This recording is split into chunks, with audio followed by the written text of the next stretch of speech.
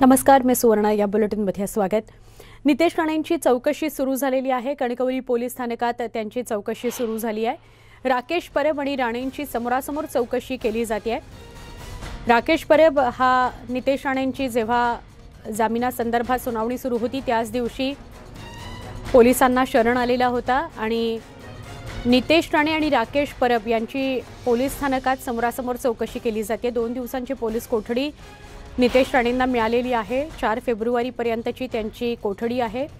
दोघांच्या समोरासमोरच्या चौकशीमधून काय नेमकं निष्पन्न होतं हे बघायचं. पण कणकवली पोलीस स्थानकात नितेश राणेंना आणलं गेलं आणि आता त्यांची चौकशी केली जाते.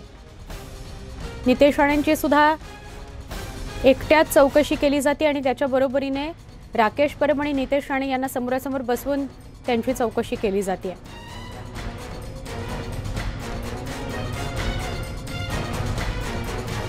आमचे प्रतिनिधी अजित मांढरे यांच्याशी अधिक बोलूया.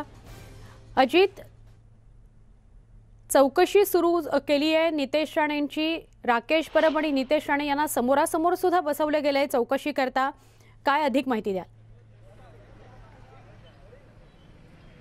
सुवर्ण बातमीत थोडा सुधार करतो. नितेश राणे यांना चौकशी करता आणलं गेलेलं आहे पण अजून राकेश परब याला चौकशी करता आणलेलं नाहीये. थोड्याच वेळात त्याला चौकशी करता आणलं जाईल. बर. आणि त्या दोघांची समोरासमोर बसून चौकशी केली जाईल. हम्म. त्याच्या गाड्यांचा ताफ्या पाहिला तर ह्या गाड्या ज्या आहेत हा व्ही आय पी स्पॉटिंगच्या गाड्या आहेत. जेव्हा जिल्ह्यामध्ये एखादा अ, केंद्रीय मंत्री किंवा वरिष्ठ अधिकारी येतात तर त्यांच्या स्पॉटिंग करता या गाड्या असतात. त्या गाड्यांचा वापर जो आहे तो नितेश राणे यांना पोलीस कोठडी देण्यामध्ये किंवा त्यांना जेल जेल जेलपासून ते अ, पोलीस स्टेशनपर्यंत आणण्याकरता या गाड्यांचा वापर केला गेला. याच गाड्यातून साधारणपणे एक अर्ध्या तासापूर्वी नितेश राणे यांना कणकवली पोलीस स्टेशनमध्ये आणण्यात आलेलं आहे. आता नितीश नितेश राणे यांचा जबाब नोंदवला जातोय. त्याच पद्धतीनं त्यांची चौकशी देखील केली जाते. यानंतर राकेश परब याला बोलवलं जाईल आणि त्या दोघांना समोरासमोर समोरासमोर बसून चौकशी केली जाईल. असं काही पोलीस सूत्रांचं म्हणणं आहे. याचं कारण असं आहे की पोलिसांनी जी पोलीस कोठडी मागितलेली आहे त्यामुळे त्यांचा मुख्य मुद्दा हा आहे की राकेश परब याला अटक करण्यात आलेली आहे. आणि राकेश परब याच्या फोनवरून जे फोन कॉल केले गेले होते त्याच्या संदर्भातले काही महत्त्वाचे मुद्दे जे आहेत ते पोलिसांच्या हाती लागलेले आहेत. आणि राकेश परब हा नितेश राणे यांचा पी आहे. त्यामुळे ह्या दोघांना समोरासमोर बसून चौकशी केली असता या प्रकरणामध्ये आणखीन खुलासे होऊ शकतील. कारण का कोणी आदेश दिले कोणी कशा पद्धतीनं को- कोणी क- कोणी आदेश दिले कोणी या सगळ्या गोष्टींमध्ये म- महत्वाची भूमिका बजावलेली आहे. या सर्व गोष्टी जर पाहिल्या तर मात्र याच्यामधून आणखीन खुलासे होऊ शकतील. त्याचबरोबर इतर लोक जे फरार आहेत या फरार लोकांच्या स- संदर्भातली माहिती देखील मिळू शकते. कारण का? फोन कॉल भरपूर झालेले आहेत आणि या फोन कॉलच्या माध्यमातूनच जी गोष्ट सांगण्यात आलेली आहे त्याचा उलगडा करणं गरजेचं आहे. हे सगळं लक्षात घेतं या दोघांची समोरासमोरून चौकशी केलं जाणं गरजेचं आहे. हा युक्तिवाद जो आहे सरकारी वकिलांनी आणि पोलिसांनी न्यायालयामध्ये केला होता. कणकवली दिवाळी न्यायालयामध्ये केला होता. आणि तिथून त्यांना याच बेसवरती पोलीस कोठडी मिळालेली आहे. हाच महत्त्वाचा मुद्दा आहे. त्यामुळे नितेश राणे यांची प्राथमिक चौकशी झाल्यानंतर राकेश परब याला आणलं जाईल. त्याकरता पोलिसांची तयारी देखील झालेली आहे. काही हो टीम अजित पण आतापर्यंत राकेश परबची एकट्यात चौकशी झालेली आहे कारण त्याची अटक पण झाली आहे. त्याचप्रमाणे नितेश राणेंची सुद्धा एकट्यामध्ये चौकशी होईल का? आणि मग त्या दोघांना समोरासमोर बसवलं जाईल का? का आत्ता फक्त जबाब नोंदवून घेतला जातोय? आता त्यांचा जबाब नोंदवण्याची प्रक्रिया सुरू आहे आणि त्यानंतर त्यांची प्राथमिक चौकशी केली जाईल आणि यानंतर राकेश परब याला या- ठिकाणी पाचारण केलं जाईल. त्यानंतर दोघांची समोरासमोर बसून चौकशी केली जाईल. हा चौकशीचा भाग आहे. ही चौकशीची एक प्रक्रिया आहे.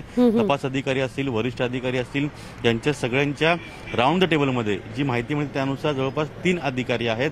तीन अधिकारी मिळून या जे पोलीस स्टेशन आहे. त्या पोलीस स्टेशनमध्ये नितेश राणे यांची चौकशी करता आहेत याचबरोबरीनं आता तू म्हटली असे की राकेश परब याची आधी चौकशी झालेली तर त्याची आधी चौकशी झालेली आहे त्याच्या चौकशीच्या बेसच्या आधारेच हो. नितेश राणे यांच्या पोलीस कोठडीची मागणी जी आहे कणकवली पोलिसांनी न्यायालयामध्ये केली होती. राकेश परब हा सध्या कुडाळच्या जेलमध्ये असून त्याला इथं आणलं जाईल थोड्या वेळात आणि त्यानंतर स्पष्ट होईल की दोघांनी एकमेकांची समोरासमोर बसून त्यांची काय चौकशी करण्यात आली त्यातून काय खुलासे झाले आहेत नक्की. कारण का ह्याच मुद्द्यांच्या आधारे ज्यावेळी उद्या नितेश राणे यांना आणि राकेश परब या दोघांनाही न्यायालयामध्ये हजर केलं जाईल तेव्हा त्यांची पोलीस रिमांड पुन्हा मागितली जाईल ह्या दोघांच्या चौकशीच्या आधारे नक्की नक्की.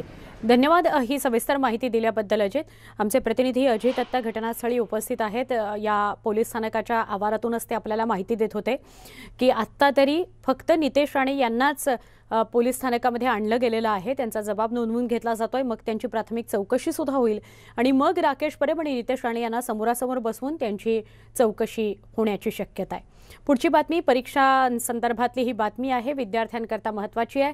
दहावी आणि बारावीची परीक्षा ऑनलाईन व्हावी याकरता विद्यार्थ्यांनी आंदोलन तर केलं मात्र परीक्षा ऑफलाईनच होणार आहेत यावर शिक्कामोर्तब झालेला आहे. या संदर्भात पुण्यात सकाळी साडे अकरा वाजता म्हणजे अजून पुढे दहा ता- अजून पुढे एक अर्ध्या तासात मंडळाकडून पत्रकार परिषद घेतली जाईल अशी माहिती मिळते दहावी आणि बारावी बोर्ड परीक्षेच्या आयोजनासंदर्भात पत्रकार परिषदेत माहिती दिली जाईल. दहावीची परीक्षा पंधरा मार्चपासून बारावीची परीक्षा चार मार्चपासून सुरू होणार आहे. त्यापूर्वी पंधरा फेब्रुवारीपासून इयत्ता बारावी बोर्डाच्या प्रात्यक्षिक तोंडी परीक्षांना सुरुवात होणार आहे.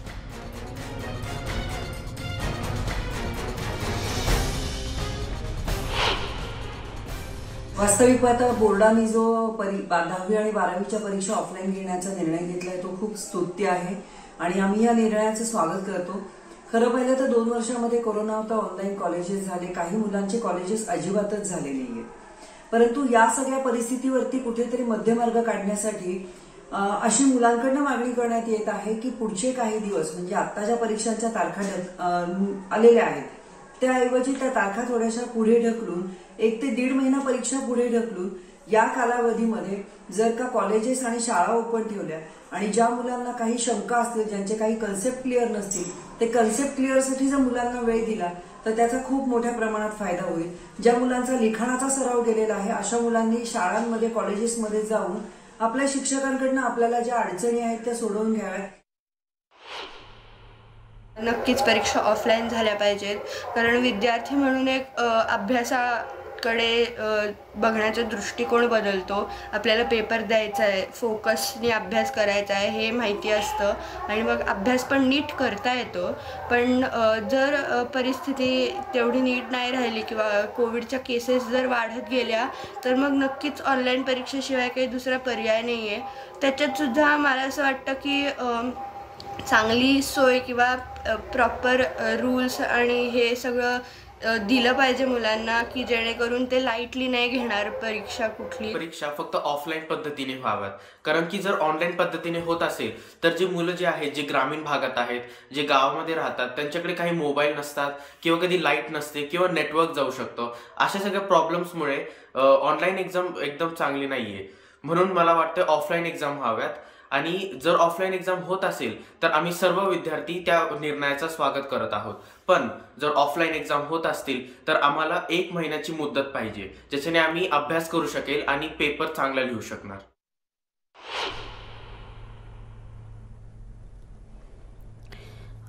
पुढच्या काही मिनिटांमध्ये मंडळाकडून भूमिका स्पष्ट केली जाईल. ऑनलाईन परीक्षांची मागणी होत असली तरीसुद्धा परीक्षा ऑफलाईनच होणार आहेत. यावर शिक्कामोर्तब झालं आहे आणि त्याची घोषणा फक्त मंडळ काही वेळामध्ये करेल. दहावी आणि बारावीच्या तोंडी परीक्षा आणि लेखी परीक्षांचं वेळापत्रकही समोर आलेलं आहे. बोर्डाची परीक्षा ऑफलाईनच होणार. या मंडळाच्या निर्णयाचं किंवा मंडळ या निर्णयावर ठाम राहिल्याचं कौतुकच होतं आहे. अमरावतीमधून महत्त्वाची बातमी आहे अमरावतीमध्ये एका गावानं पाण्यासाठी आपलं गावच सोडलंय. म्हणजे त्या गावातल्या नागरिकानं गाव सोडलंय पाण्याकरता. अमरावतीच्या सावंगी मगरापूरची ही घटना आहे. पाण्याकरता सगळ्या स्थानिकांनी गावच सोडलं. अठ्ठावीस दिवसांपासून गावात पाणीच नाही आहे त्यामुळे अनेक कुटुंब गावाबाहेरच्या विहिरीजवळ येऊन राहू लागलेली आहेत. ठराविक एका वस्तीतच पाणी येत नाही. स्थानिक महिलांनी असा आरोप केला आहे अमरावती जिल्ह्यातील सावंगी मगरापूर गावातील लोकांनी चक्क पाण्याकरता आपलं गावच सोडलंय. अठ्ठावीस दिवसांपासून गावात पाणीपुरवठा होत नाही अशी तक्रार महिला वारंवार करतायत तरी त्याकडे दुर्लक्ष झालं अठ्ठावीस दिवसांनंतर वॉर्ड नंबर एकमध्येच पाणीपुरवठा न केल्याचा आरोप इथले नागरिक करतायत. त्यामुळे अनेक कुटुंब गावाबाहेरच्या विहिरीजवळ येऊन बसली आहेत. फक्त ठराविक वस्तीतच पाणी पुरवठा होतो असाही आरोप इथल्या महिलांनी केलाय.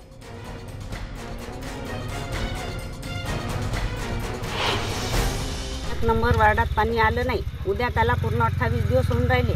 तरी आमच्या वार्डात अजून नळ आला नाही. इकडे पाणी आहे. फक्त एक नंबर वार्डातच पाणी नाही.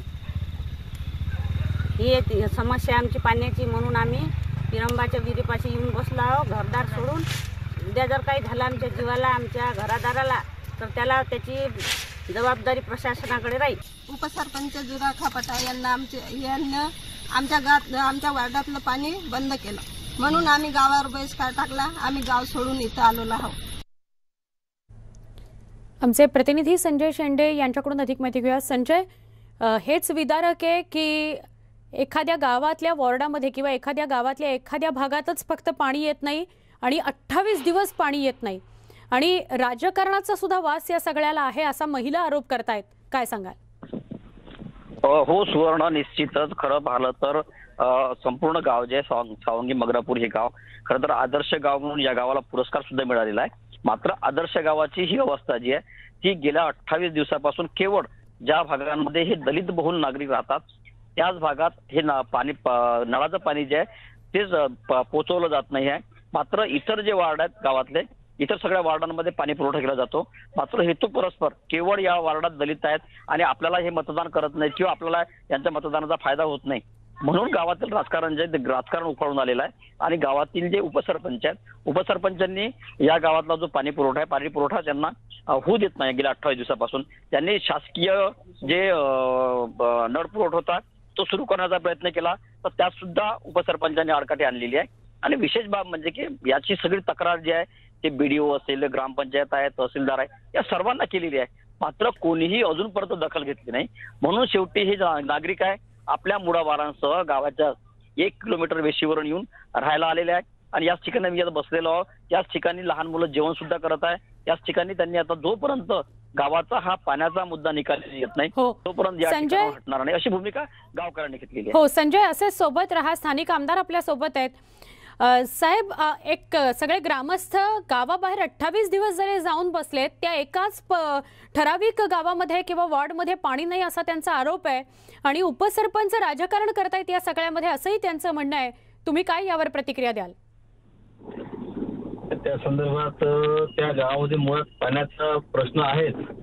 फक्त आता ज्या भागात पाणी जात नाही त्या भागात पाणी जाण्याकरता काय उपाययोजना करता येतील? या संदर्भात मी आता जे पाणी टंचाईची मिटिंग घेतली होती त्यामध्ये सुद्धा निर्देश दिले होते. परंतु हे नागरिक जे अठ्ठावीस दिवसापासून बसलेले आहेत त्या संदर्भात मला पत्रव्यवहार झाला नव्हता त्यामुळे थोडी कल्पना नव्हती. परंतु मी लगेच तात्काळ यामध्ये लक्ष घालून अधिकाऱ्यांनी त्या संदर्भात पाण्याची व्यवस्था करण्यासंदर्भात सूचना दिली. पण त- पाणी टंचाईच्या मीटिंगमध्ये या संदर्भात विषय होता. तिथे कायम हो. म्हणजे पाण्याची गंभीर परिस्थिती आहेच पण एक विशिष्ट वर्ग असल्या कारणानं त्यांना पाणी दिलं जात नाहीये कारण ते आपल्याला मतदान करत नाहीत असा सुद्धा एक सूर समोर येतोय. प्रताप अडसळकर. ते गावातील आता राजकारणाचा विषय असेल कदाचित परंतु तिथे कायमस्वरूपी पाण्याचा स्रोत नाही आहे ही वस्तुस्थिती आहे. हो. आणि त्या संदर्भात उपाययोजना करण्याकरता माझी पण म्हणजे हे जे राजकारण होतंय त्याच्याकडे सुद्धा आपण लक्ष द्याल का प्रतापजी? नक्की नक्की लक्ष देऊ. आणि पाण्यापासून राजकारणामुळे कोणीही वंचित राहू नये तो मूलभूत हक्क आहे प्रत्येकाचा. आणि त्यासाठी वैयक्तिक किंवा स्थानिक राजकारण जर होत असेल तर ते निश्चित होणं योग्य नाही आहे. पाण्यापासून कुणालाही वंचित ठेवता येणार नाही. त्या संदर्भात प्रशासनाला मी नक्कीच निर्देश देईन. अच्छा प्रतापजी एक माहिती हवी होती. हे सावंगी मगरापूर इथे नळाचं पाणी म्हणजे नळ पोचलेले आहेत पण पाणी नाही अशी परिस्थिती आहे का? नेमका काय प्रकार आहे? नाही नळ योजना आहे तिथे परंतु तिथे कायमस्वरूपी पाण्याचा स्रोत नसल्यामुळे जेव्हा उन्हाळा साधारणपणे सुरू होतो तेव्हा तिथलं म्हणजे पाण्याचा कायमस्वरूपी स्रोत नाही. पावसाळ्यामध्ये जेवढं पाणी साठलेलं असतं ते संपलं की नंतर तिथे पाण्याची अडचण आहे. त्यामुळे हे जे गाव आहे मध्ये पाथरगाव असेल सावंगी मगरापूर असेल मध्ये चिरोडी आहे त्या संदर्भात कायमस्वरूपी तोडगा काढण्यासाठी मी एक उपाययोजना सुचवलेली आहे. आपल्या मालखेड तलावावरून एक रिझर्वायर घेऊन हे सर्व गावं त्यामध्ये कनेक्ट करून कायमस्वरूपी पाण्याची व्यवस्था करण्यासंदर्भात उपाययोजना सुचवलेली आहे. त्या संदर्भात त्याचं नियोजन सुद्धा सुरू आहे. म्हणजे बैठकही त्या संदर्भात झाली आहे. त्याच्यामुळे येणाऱ्या प्रश्न राहणार नाही. परंतु पण मग पण मग दरवर्षी उन्हाळ्याच्या काळामध्ये ही जी काही गावं आहेत तिथे असाच प्रश्न निर्माण होतो का? हो. हे जे बाकी गाव आहे तिथेही कायमस्वरूपी पाण्याचा स्रोत नाही. म्हणजे कारला असो पातळगाव थुगाव हे या लाईनवरचे सगळे गाव आहेत चिरोडी आहे मध्ये हे सगळं कव्हर करता येईल का? या संदर्भात मी नक्की. प्रतापजी मी आपल्याला विनंती करेन आपण असेच सोबत राहा. खासदार नवनीत राणा सुद्धा आपल्याबरोबर जोडल्या गेलेल्या आहेत. नवनीतजी हे जे गाव आहे सावंगी मगरापूर इथे अठ्ठावीस दिवसापासून पाणी नाही आणि हे सगळे गावकरी बाहेर गावाच्या विहिरीपाशी येऊन बसलेत. अठ्ठावीस दिवस झाले आणि राजकारणामुळे हा प्रकार होतोय असा महिला आरोप करतायत. नवनीतजी तुम्ही काय सांगाल? मला असं वाटते की या महाराष्ट्राची दिशा कुठे चालली आहे? या समजायला मार्ग नाही आहे या महाराष्ट्र जिथे डॉक्टर बाबासाहेब आंबेडकरांचे विचारावर आणि छत्रपती शिवाजी महाराजांचे विचारावर चालणारा हा राज्य आहे जेव्हापासून ही सरकार आलेली आहे हे असे प्रकार आमच्या महाराष्ट्रामध्ये घडणं सुरू झाले. आणि जे माहिती मी त्या गावामधून घेतलेली आहे जर या राजकारणमुळे आणि त्या गावाचे राजकारणामुळे जर असं झालं आहे आणि माझा परिवार आहे हा दलित परिवार यांची भेट घेऊन यांची समस्या ऐकून जर कोणाचा विरोध आणि असे प्रकार खरे अर्थाने त्या गावात घडला असन तर त्याच्यावर पूर्ण ताकदीने आम्ही कारवाई करायला लावू. आणि मग कोणताही राजकीय व्यक्ती असला किती मोठा पाठबळ त्याच्यामागे असला या प्रकाराच्या मागे त्याला पूर्ण दोषी ठरवून त्याच्यावर कारवाई करण्याची ताकद सुद्धा आमची आहे आणि आम्ही ते करून दाखवू आम्ही आज. दिल्लीला आहे पार्लमेंट चालू आहे आणि तिथे हे गोष्टी ऐकून हा दुर्दैव्य आहे आमच्या महाराष्ट्राचा. हो. आणि नवनीतजी मी तुमचा जास्त वेळ नाही घेणार पण प्रताप अडसड स्थानिक आमदार असं म्हणतायत की तिथे नैसर्गिक स्रोत नाही पाण्याचा म्हणून दर उन्हाळ्यामध्ये अशी परिस्थिती निर्माण होते. पण राजकारण जर काही झालेलं असेल या दलित सगळ्या नागरिकांवर जर मला असं वाटते जर असा प्रकार असन तर राजकीय लोक रिप्रेझेंट करण्यासाठीच लोकांची सेवा करण्यासाठीच आम्ही राजकारणामध्ये येतो. जर. पाणी नाही अजून उन्हाळा सुरू झाला नाहीये. अजून गरमी सुरू झाली नाहीये. पा- पाणीचं स्तर खाली गेलेला नाहीये. जर असा प्रकार आहे तर गेल्या सहा महिन्यापासून आपण काय करतोय? त्याचाही विचार आपण केला पाहिजे आणि सगळे राजकीय लोकांनी फक्त ते दलित आहे म्हणून तिथे पाणी दिलं नाही पाहिजे काय? तिथे पाणी पुरवठा पहिले दिले पाहिजे टाक्या लावल्या पाहिजे. का नाही लावल्या अजूनपर्यंत? त्यांना पाणी पुरवठा का नाही केला? आम्ही जसं मेलघाटमध्ये पाणीचे टँकर घेऊन जातो का दहा टँकर दिवसांनी देत नाही? जर पाणीची व्यवस्था तशी नाही होत तर तशी का नाही करत. माझं एकच म्हणणं आहे जर असं काहीतरी होत असेल राजकारणामुळे ते दुर्भाग्य आमच्या राज्याचं आणि याच्यावर कारवाई आणि ज्या पद्धतीची जर अशी पीडिता आमचे लोकांना पीडित देत असन करत असन तर आम्ही याचे मागे उभे राहू त्यांच्यासोबत. आणि पार्लमेंटमध्ये सुद्धा हे आवाज उचलू. नक्की. नवनीतजी आभार. आपण न्यूज एटीन लोकमतशी सविस्तर बोललात. त्याबद्दल खासदार अमरावतीच्या नवनीत राणा आपल्यासोबत होत्या. तर असं म्हणाल्या आत्ता खरं तर सभागृहाचं कामकाज सुरू आहे पण तरीसुद्धा स्वतः मी या सगळ्या गोष्टीची दखल घेईन या सगळ्या बांधवांशी संवाद साधीन आणि त्यांचा पाण्याचा प्रश्न सोडवीन. जर एका विशिष्ट विभागाला टार्गेट केलं जात असेल आणि अठ्ठावीस दिवस त्यांना पाण्यापासून वंचित ठेवलं जात असेल तर महाराष्ट्राचं ते दुर्भाग्य आहे. असं नवनीत राणा म्हणाल्या. प्रताप अडसड स्थानिक आमदार आपल्यासोबत होते. पाण्याची समस्या सोडवण्यासाठी मी सर्वतोपरी प्रयत्न करीन पण राजकारण जर या सगळ्या प्रकरणात असेल तर त्याबाबत सुद्धा निश्चित मी पाठपुरावा करीन असं स्थानिक आमदार सुद्धा म्हणाले आहेत. एक छोटासा ब्रेक पहा फक्त न्यूज एटीन लोकमत.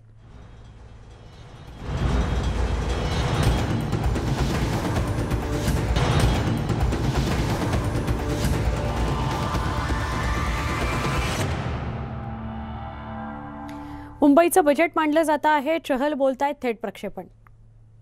पर्यावरणी जे काही जबाबदारी आहे त्याची पूर्ण जाणीव आहे. आणि नवनवीन संक्रमण आणि आकस्मिक बदलामुळे होणारी पर्यावरणाची मोठी हानी टाळण्यासाठी बृहन्मुंबई महानगरपालिका बदलाची सौम्यता बदलाचा सरकार कार्बनच्या उत्सर्जनावर अंकुश कार्बन उत्सर्जनाचा समतोल यावर काम करणे चालू आहे. आम्ही विविध क्षेत्रामध्ये कार्बनच्या समतोल राखण्यावर लक्ष केंद्रित करणार असून याची सुरुवात म्हणून बीएमसी मध्ये वैतरणा प्रकल्पासाठी हायड्रो आणि सॉर अशा शंभर मेगावॉट संमिश्र वीज खरेदी करण्याचे वीज खरेदी करार केला आहे. बृहन्मुंबई महानगरपालिका अनेक सार्वजनिक वाहनतळामध्ये जे पब्लिक पार्किंग लॉट्स आहेत ते खासगी सहभागाने इलेक्ट्रिक इलेक्ट्रॉनिक वाहन चार्जिंग स्टेशन सक्रियपणे प्रचार करत आहे. विविध भागात आपली मियाबाकी जंगल इलेक्ट्रिक बसेस तसेच मुंबई महानगरपालिकाची ई वाहने अगदी नदीच्या भविष्यात कार्बन समतोल राखण्याच्या दिशेने लहान पण ठोस पावले आहेत. माननीय कॅबिनेट मंत्री आदरणीय श्री आदित्य उद्धव ठाकरे यांच्या हस्ते दिनांक दोन ऑक्टोबर दोन हजार वीस रोजी उद्घाटन केलेल्या माझी वसुंधरा अभियान अंतर्गत महाराष्ट्र शासनाचे पर्यावरण आणि हवामान बदल खात्याच्या मार्गदर्शनखाली देश देश हवामान कृती आराखडा क्लायमेट ऍक्शन प्लॅन राबवून सी चाळीस म्हणजे देश म्हणजे जगामध्ये जे काही चाळीस मोठे शहर आहेत म्हणजे त्याला आपण सी फॉर्टी म्हणतो त्याच्या आपण मुंबईचा त्याचा समावेश झाला आणि आपण एक camp camp Mumbai climate action plan camp केला. देशामध्ये एकमेव शहर आहे मुंबई इथे आपण असा पहिला कॅम्प कॅम्प कॅम्प केलेला आहे. त्यानंतर दिनापासून ब्रह्ममुंबई महानगरपालिका भूमी वायू जल अग्नी आणि आकाश या पाच घटकाचा समावेश करून शाश्वत पर्यावरणाच्या दिशाने गतिशील आणि प्रमाणबद्ध उपाययोजना करण्यासाठी सक्रियपणे प्रयत्न करीत आहे. मला सांगताना आनंद होत आहे की या उद्दिष्टासाठी स्थापलेल्या हवामान कृती आराखडा कक्षाद्वारे ब्रह्मबाई महानगरपालिका या सर्व घटकावर एकत्ररित्या काम करीत आहे.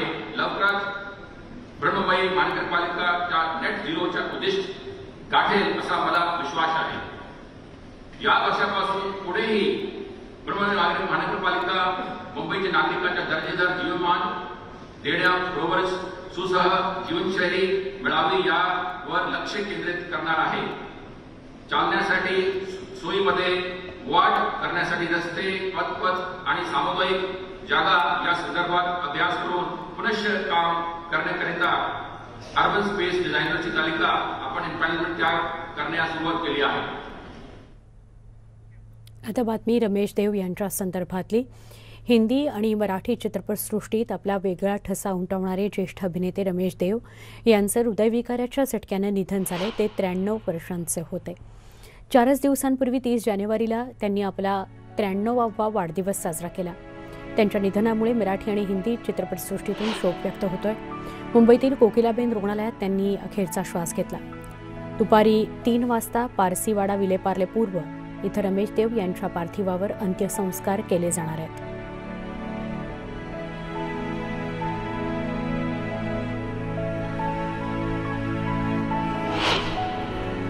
होताच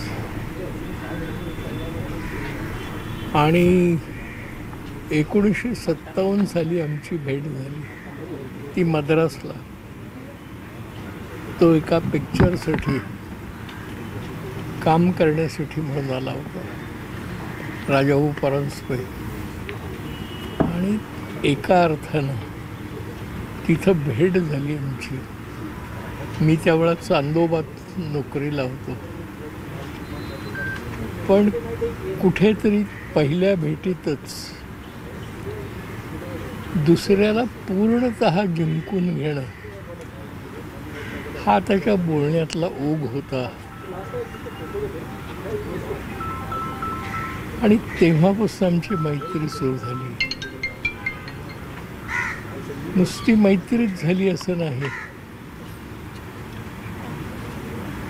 तर अत्यंत मोकळेपणाने मनातल्या आतल्या गोष्टी काढून घेणं. सहजपणानं. आणि कुठेही त्यामध्ये ही भावना नव्हती. आपलेपणा अधिक वाढावा हेच त्याचं प्रत्युत्तर होतं बोलत होता. पुढं आम्ही एकमेकांचे नातेवाईकही झालो. त्याची पत्नी सीमा आणि माझी बायको ही बहीण मिळली. आणि त्यातून म्हणजे अत्यंत प्रेमात गुंफलेली आम्ही माणसं. एका अर्थाने आणखीन एका दोरामध्ये अधिक बांधल्या गेलो. मैत्री हे सूत्र असतं. एक कल्पना असते. नातं ही गोष्ट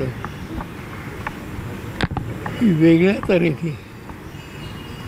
आली तरी आमच्यातली मैत्री कधीच कमी झाली नाही.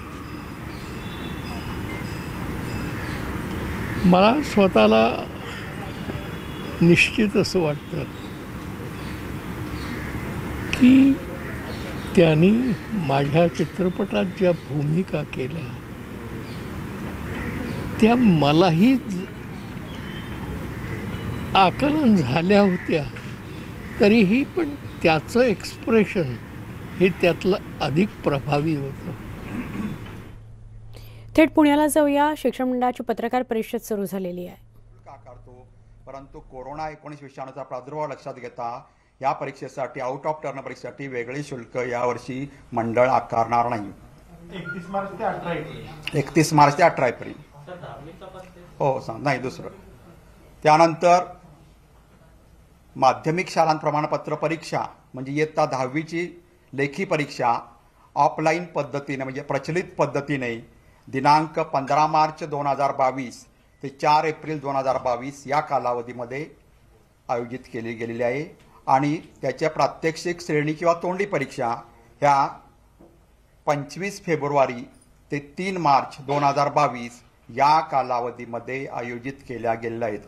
जसं बारावीसाठी आपण आउट ऑफ टर्न परीक्षेसाठी म्हणजे या काला या पहिल्या कालावधीमध्ये जर विद्यार्थ्याच्या श्रेणी तोंडी किंवा मूल्य अंतर्गत मूल्यमापनाची परीक्षा काही कारणास्तव जर विद्यार्थी देऊ शकला नाही तर त्यासाठी सुद्धा आपण लेखी परीक्षेनंतर पुन्हा एक कालावधी देतो आणि तो कालावधी आहे पाच एप्रिल ते बावीस एप्रिल. या कालावधीसाठी सुद्धा आउट ऑफ टर्नचा कालावधी असून सुद्धा आपण त्याला वेगळे शुल्क आकारणार नाही.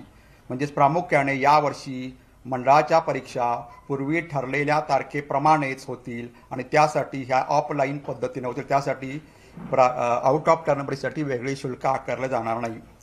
मंडळाकडं सद्यस्थितीत ह्या परीक्षेसाठी दहावीसाठी सोळा लाख पंचवीस हजार तीनशे अकरा आवेदनपत्र आत्तापर्यंत प्राप्त झालेली आहेत.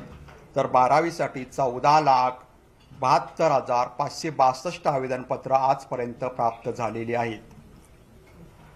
आपल्या मंडळाची परीक्षाचं स्वरूप हे वस्तुनिष्ठ लघुत्तरी दीर्घोत्तरी अशा वेगवेगळ्या स्वरूपात म्हणजे प- प्रश्नपत्रिकेमध्ये यासारखे प्रश्न असतात. आणि त्यामुळं ही परीक्षा घेत असताना ही सार्वत्रिक परीक्षा असल्या असते आणि एकाच वेळी सर्व राज्यभर एकच प्रश्नपत्रिकेद्वारे ही परीक्षा होत असते. त्यामध्ये बारावीसाठी आपल्याकडे एकशे वी एकशे अठ्ठावन्न विषय आहेत. विद्या आणि विज्ञान शाखेसाठी चार माध्यमातून परीक्षा घेतली जाते. तर कला आणि सायन्स कला आणि वाणिज्य या शाखेसाठी सहा माध्यमातून प्रश्न प्रश्नपत्रिका असते. आणि प्रश्नपत्रिकांची एकूण संख्या म्हणजे एकशे अठ्ठावन्न विषयासाठी तीनशे छप्पन्न प्रश्नपत्रिकांची संख्या असते. तर दहावीसाठी साठ विषय असतात. त्याची आठ माध्यमातून परीक्षा होते आणि प्रश्नपत्रिकांची संख्या एकशे अठ्ठावन्न आहे. या परीक्षेमध्ये जर आपण बघितलं तर परीक्षेमध्ये विविध घटकांचा समावेश होतो. त्यामध्ये अधिकारी असतील त्यामध्ये मुख्याध्यापक असतात केंद्र संचालक असतात उपकेंद्र संचालक असतात नियामक असतात मुख्य नियामक असतात परीक्षक असतात. आणि यांची संख्या जर विचारात घेतली तर साधारणतः पावणे दोन लाख कर्मचारी या परीक्षेमध्ये राज्यभरासाठी परीक्षा घेण्यासाठी झटत असतात.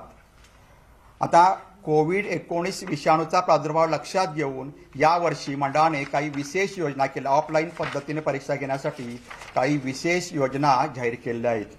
त्यामध्ये प्रामुख्याने माहिती आहे दरवर्षी परीक्षा केंद्र हे प्रचलित केंद्र केंद्र असतात ठराविक केंद्र असतात परंतु यावर्षी कोरोना एकोणीस विषाणूचा प्रादुर्भाव लक्षात घेऊन विद्यार्थ्यांच्या सोयीसाठी शाळा तिथं परीक्षा केंद्र क उपकेंद्र घेण्याचं निश्चित करण्यात आलेलं आहे.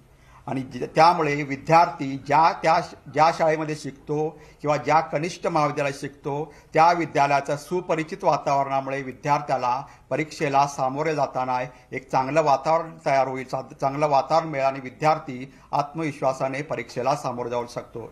यामध्ये मला प्रामुख्याने नमूद करावंसं वाटतं की ज्या शाळेमधून किंवा ज्या कनिष्ठ महाविद्यालयातून पंधरा किंवा पंधरापेक्षा जास्त विद्यार्थी प्रविष्ट होणार त्या शाळांना उपकेंद्र देण्यात येईल आणि त्याच्यापेक्षा जर कमी विद्यार्थी त्या शाळेमधून प्रविष्ट होत असतील दहावी किंवा बारावीच्या परीक्षेसाठी तर त्या विद्यार्थ्यांना जवळचेच उपकेंद्र किंवा जवळचेच केंद्र त्या विद्यार्थ्यांना परीक्षेसाठी देण्यात येईल.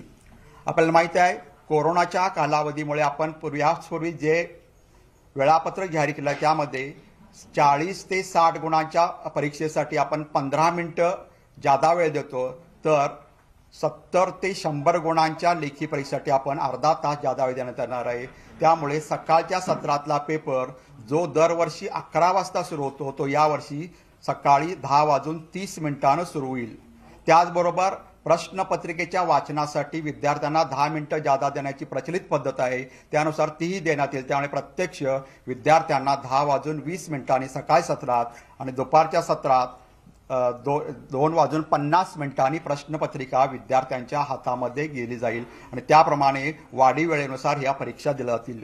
कारण विद्यार्थ्यांचा लेखनाचा सराव गेल्या दोन वर्षात प्रत्यक्ष उपस्थिती शाळेमध्ये कमी असल्यामुळं किंवा ऑनलाईन पद्धतीनं काही लोकांनी शिक्षण काही विद्यार्थ्यांनी शिक्षण घेतल्यामुळं आपल्याला विद्यार्थ्यांच्या सोयीसाठी ही जादा वेळ देण्यात आलेली आहे. आपल्याला माहीत आहे दोन्ही दोन्ही दोन्हीसाठी. अर्धा तास. ना जे पेपर आपले चाळीस किंवा साठ गुणांचे असतात त्यासाठी पंधरा मिनिटं सरसकट आणि जे पेपर सत्तर ते शंभर गुण सत्तर ऐंशी किंवा शंभर गुणांचे असतात त्यासाठी अर्धा तास म्हणजे तीस मिनिटं जादा वेळ देण्यात आलेला आहे.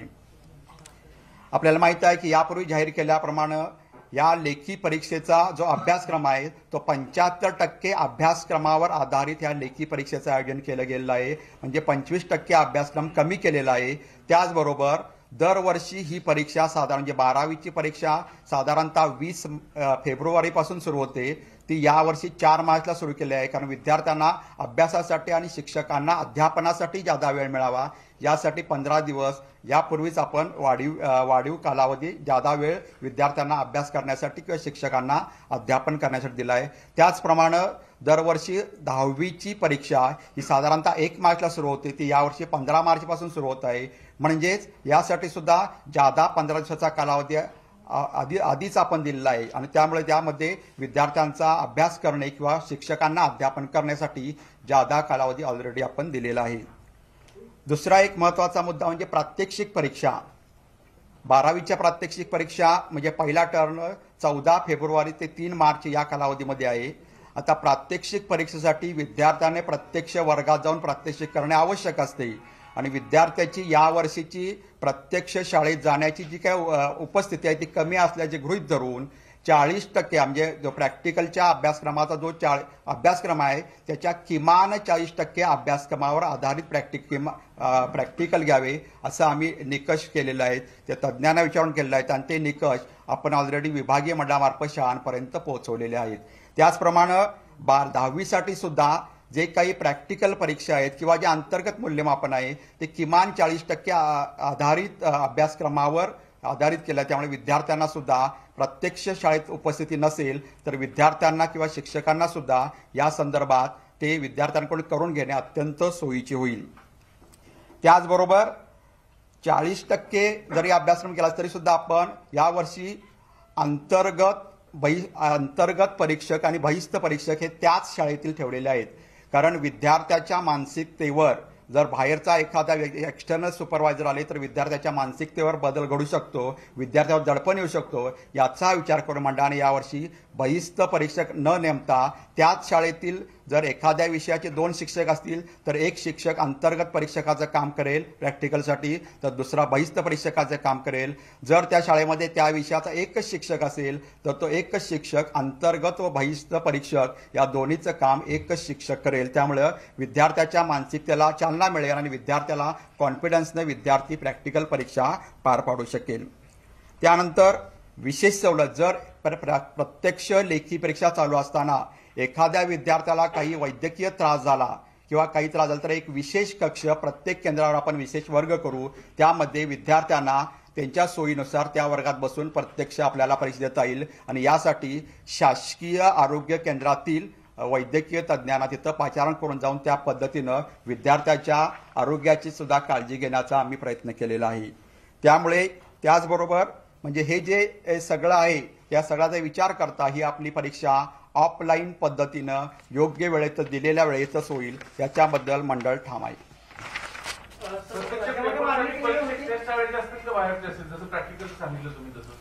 हा आता प्रत्यक्ष परीक्षा घेताना आम्ही त्याचा सर्व शक्यतांचा विचार करून त्याबद्दल आम्ही निर्णय घेऊ सुपरवायझर कोण असेल आम्ही निर्णय घेऊ तो सर सर, परीक्षा पद्धती ज्या पद्धतीने घेणार आहे की प- परीक्षा केंद्रावरती म्हणजे शाळेच्या ठिकाणी घेणार किंवा झिगझॅग पद्धतीने असा काही निर्णय झालाय का?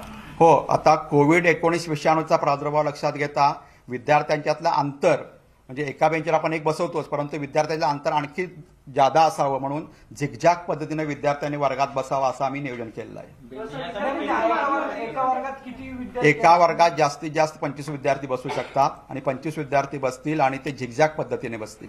सर, नाही, नाही, परीक्षा परीक्षा केंद्र वाढवले की त्या शाळेत निर्णय त्या शाळेत घेणार? नाही आता प्रचलित पद्धतीनं जर आपण बघितलं तर आपल्याकडे परीक्षा केंद्र किती असं आपल्याला सांगतो. प्रचलित पद्धतीनं आपल्याकडे दहावीची परीक्षा केंद्र आहेत. दोन हजार नऊशे सॉरी पाच हजार बेचाळीस. ह्या वाढवल्यामुळे ती संख्या होते एकवीस हजार तीनशे एक्केचाळीस. तर बारावीची परीक्षा प्रचलित पद्धतीने झाली असती तर दोन हजार नऊशे त्रेचाळीस केंद्र होती. तर आपण उपकेंद्र वाढल्यामुळे ती नऊ हजार सहाशे तेरा झाली. म्हणजे एकूण आपली दहावी आणि बारावीची प्रचलित केंद्र आहेत सात हजार नऊशे पंच्याऐंशी राज्यभरात. तर ती वाढून आता तीस हजार नऊशे चोपन्न परीक्षा केंद्र होतील. साधारणतः चौपट केंद्र परीक्षा केंद्र होतील. सर सर या- यालाच अनुसरून प्रश्न आहे की त्याच वर्गातले पर्यवेक्षक असतील विद्यार्थी तिथले शाळा तिथं मग कॉपीला आळा कसा बसणार? विद्यार्थ्याचा मानसिकतेचा विचार करता अजून व- त्यांनी विचार होता प्रश्न की व- पर्यवेक्षक कुठले असेल? लेखी परीक्षेसाठी पर्यवेक्षक संदर्भात आम्ही चर्चा करून निर्णय घेऊ. त्याच्यावर अजून फायनल निर्णय झालेला नाही. परंतु विद्यार्थ्याला त्याच शाळेत जर परीक्षा दिली तर विद्यार्थ्याच्या मानसिकतेमध्ये फार मोठा बदल येतो आणि विद्यार्थ्याला प्रवास सुद्धा करावा लागणार नाही. आणि विद्यार्थी त्या शाळेमध्ये परीक्षा दिल्यामुळे विद्यार्थ्याची जी मानसिकता गेल्या दीड दोन वर्षापासून झाल्या त्यामध्ये सुपरिचित वातावरणामुळे विद्यार्थ्याला परीक्षा देणं सोपं जाईल. नाही त्या संदर्भात आम्ही आमच्या स्तरावर नियोजन करू बैठक पथक किंवा भरारी पथक जास्त प्रमाणात नेमू आणि सर्व फिल्ड अधिकाऱ्यांना आम्ही त्याप्रमाणे सूचना देऊ आणि त्या पद्धतीनं सर्व शिक्षण विभागाच्या अधिकाऱ्यांच्या मार्फत आणि इतर विभागाच्या अधिकाऱ्यांमार्फत कॉपीला आळा घालण्याचा प्रयत्न करू. बारावी पद्धती जास्त वाढणार का मग सर? अभ्यासक्रम जो आहे तो ऑनलाईन पद्धतीनं झालेला आहे. मग परीक्षा ऑफलाईन पद्धतीनं का? जर ऑनलाईन पद्धतीनं घेण्यात आली असती तर ते बोर्डावर नियोजन शक्य झालं असतं का? ऑफलाईन घेण्यामागचं नेमकं कारण काय? विद्यार्थ्यांची मागणी लक्षात घेऊ ठीक आहे. साधारणतः एक आता यांच्या प्रश्नाला उत्तर देतो मी. साधारणतः आपल्या परीक्षेचं जर स्वरूप लक्षात घेतलं तर आपली प्रश्नपत्रिका ही वस्तुनिष्ठ लघुत्तर आणि दीर्घोत्तर या विविध प्रकारच्या प्रश्नाने असते. त्याचबरोबर आपल्या परीक्षेची विद्यार्थी संख्या बघता विद्यार्थी संख्या दोन्ही परीक्षेमुळे एकतीस लाख विद्यार्थी साधारणतः एकतीस लाख विद्यार्थी संख्या आहे. त्याचबरोबर आपल्या प्रश्नपत्रिकांची संख्या आणि माध्यमांची संख्या लक्षात घेता. एवढ्या मोठ्या प्रमाणात या तांत्रिक सुविधा उपलब्ध करणे शक्य नाही त्यामुळं ही परीक्षा ऑनलाईन पद्धतीने होऊ शकत नाही. तर दहावीच्या परीक्षेची तारीख दहावीची परीक्षा ही देतो आम्ही तुम्हाला हे देतो सर. पंधरा मार्च ते चार एप्रिल. हो प्रश्नपत्रिका आपले जे प्रश्नपत्रिका कसं आहे? कुठल्याही प्रश्नपत्र आता विद्यार्थ्यांना ज्या पद्धतीनं विद्यार्थ्यांनी अभ्यासात सराव केला किंवा आठवीपासून किंवा अकरावीपासून ज्या पद्धतीने विद्यार्थ्यांनी प्रश्नपत्रिका सोडवल्यात त्यामध्ये विद्यार्थ्यांना एक अचानक प्रश्नमध्ये स्वरूप बदलता येत नाही कारण त्या पद्धतीनं विद्यार्थ्यांना शिकवलं असतं त्या पद्धतीने विद्यार्थी शिकलेले असतात त्यामुळे प्रश्नपत्रिकेचं स्वरूप हे आपलं जसं आठ मार्च दोन हजार एकोणीसचा आठ ऑगस्ट दोन हजार एकोणीसचा जो काय मूल्यमापन आराखडा आहे त्या मूल्यमापन आराखड्यावर आधारित असतं. आणि त्या मूल्यमापन आराखड्यामध्ये वस्तुनिष्ठ लघुत्तरी दीर्घोत्तरी म्हणजे ज्ञान आकलन उपयोजन आणि कौशल्य हे चारही मुद्द्यावर आधारित प्रश्न असतात. आणि त्यामुळे विद्यार्थ्याच्या कसो विद्यार्थ्याचा योग्य पद्धतीने विकास होण्यासाठी या पद्धतीचा आराखडा आहे. त्या आराखड्यानुसारच प्रश्नपत्रिका असेल. सर सर परीक्षा केंद्र परीक्षा केंद्र जर जास्त वाढत असतील तर भरारी पत्ते किती मग? भरारी एक मिनिट. किती? मिनिमम पंधरा विद्यार्थी जर त्या शाळेमधून प्रविष्ट होत असतील तर त्या त्या शाळेला आपण केंद्र किंवा उपके उपकेंद्र दिलेलं आहे. परंतु अपवादात्मक परिस्थितीमध्ये जर काही अडचण असेल तर त्या सुद्धा अपवा अपवादान परिस्थितीचा आम्ही विचार करून तिथं सुद्धा केंद्र देण्याचा विचार करू. काही विद्यार्थ्यांची मागणी आहे की आमचा ऑनलाईन ऑफलाईनला विरोध नाही पण कालावधी तुम्ही जर आता पंधरा दिवस म्हणता तर एक महिन्याचं वाढवून एक तारीख पुढे टाकलं म्हणतात. नाही तारीख पुढे ढकलण्यासंदर्भात यावेळी तज्ज्ञांची चर्चा होऊन हा तारीख ठरवली गेली आहे. कारण पुढं तारीख गेले की आपल्या महाराष्ट्राच्या भौगोलिक परिस्थिती लक्षात येतात काही भागात प्रचंड उन्हाळा असतो आणि उन्हाळ्याचा सुद्धा विद्यार्थ्यांना त्रास होतो. आणि सकाळी आणि दुपार दोन्ही सत्रामध्ये आपले वेगवेगळ्या प्रकारचे प्रश्न प- पेपर असतात. त्यामुळे प्रत्यक्ष हे शक्य होत नाही. बदलणार नाही आता. परीक्षेच्या तारखा प- बदलणार नाही आहे त्याच फिक्स आहेत. दोन प्रश्न आहेत जोडून. एक हा. तर म्हणजे वॅक्सिन कंपल्सरी करणार का? आणि केलं कंपल्सरी तर आता ज्यांना कोविड होतोय या विद्यार्थ्यांना या एक दोन महिन्यामध्ये त्यांना तीन महिने घेता येत नाही लस. तर मग त्यांच्यासाठी काय करणार एक म्हणजे आपल्याला माहीत आहे वॅक्सिनेशन कंपल्सरी करता येत नाही आपल्याला सगळ्यांना माहीत आहे. दुसरा मुद्दा म्हणजे ज्या प्रामुख्याने आमच्याकडे जी माहिती उपलब्ध त्याप्रमाणे पहिला डोस साधारणतः साठ ते पासष्ट टक्के विद्यार्थ्यांचा पहिला डोस झालेला आहे. आणि शिक्षण संचालक माध्यमिक यांनी पत्र काढलं आहे की प्रामुख्यानं बारावी आणि दहावीच्या विद्यार्थ्यांना प्रामुख्याने कोविडची लस लवकरात लवकर द्या. जर काही उपलब्ध नसेल किंवा आणखी काही स्टाफ नसेल तर. आणि त्या पद्धतीने केलं आहे त्या संदर्भात माननीय मंत्री महोदय यांनी सुद्धा सुरुवातीलाच या संदर्भात व्ही सी घेतली होती. आणि सर्व अधिकाऱ्यांना आणि कर्मचाऱ्यांना सूचना दिल्या होत्या की या कोविड लसीचं वॅक्सिने संदर्भात नियोजन करा. त्याबद्दल शा शा शालेय शिक्षण विभागाने नियोजन केलं आणि त्या नियोजनाप्रमाणे व्हॅक्सिनेशन सुद्धा जास्तीत जास्त पूर्ण होईल. म्हणजे पहिला डोस तरी सगळ्यांचा हां. दहावी आणि बारावीच्या परीक्षा या ऑफलाईनच होतील. यावर शिक्कामोर्तब झालेलं आहे. मंडळाच्या पदाधिकाऱ्यांनी स्वतः याविषयीची घोषणा पत्रकार परिषदेच्या माध्यमातून केली आहे. आणि पत्रकारांच्या प्रसारमाध्यमांच्या सगळ्या प्रश्नांना जे पालकांच्या किंवा विद्यार्थ्यांच्या मनात असतील अशा सगळ्या प्रश्नांना उत्तरं त्यांनी दिली आहेत. यासह या बुलेटिनमध्ये इथेच थांबतोय. कोरोनाचे नियम पाळायला मात्र विसरू नका. कोरोना अजून महाराष्ट्रातून देशातून गेलेला नाही. News eighteen Lokmat dot com या यूट्यूब चॅनलला सबस्क्राईब करा. फेसबुक ट्विटरवर फॉलो करा. जेणेकरून सगळे अपडेट्स तुमच्यापर्यंत पोहोचत राहतील. पहा फक्त न्यूज एटीन लोकमत.